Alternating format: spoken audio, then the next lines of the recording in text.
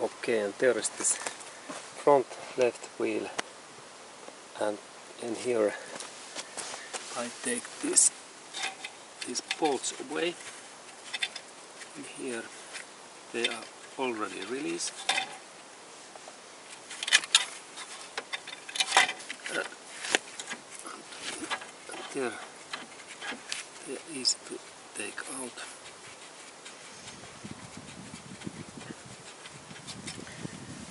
okay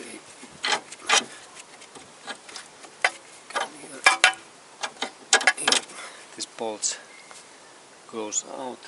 And then I little bit little bit open that open that place. And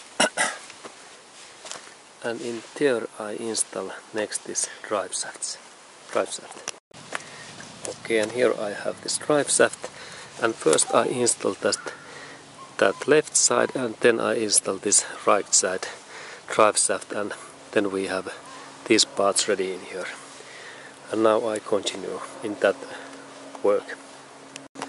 Okay and now these drive shafts are there back and then I insert wheel in back in there and, and then I lift this car to ground.